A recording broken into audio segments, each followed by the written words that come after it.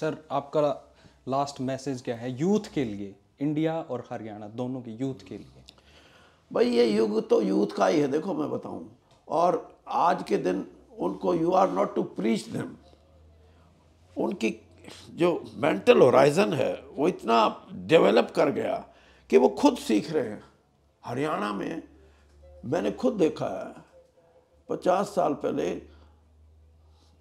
विदेश जाने के लिए यूथ कोई कल्पना भी करता था तो घर वाले रोक देते हैं भाई आज आप कभी हरियाणा जाके देखना हर गाँव से कहीं से दस कहीं से बीस बच्चे कोई ऑस्ट्रेलिया कोई अमेरिका कोई Canada they are in thousands एक नई सोच है ये और यूथ का ही फैसला है ये। तो बदल रहा है सब बदल रहा है और यूथ भी अपने हकों के प्रति अब जागरूक है। उनको भी ये लगा कि देश की जो प्रजातंत्र है, उसमें हम कुछ ना कुछ आमूल चूल परिवर्तन नहीं करेंगे तो हमारे को हमारा हक नहीं मिलेगा। इसलिए यूथ भी आज लामबंद है। आप देखना आने वाले चुनाव में।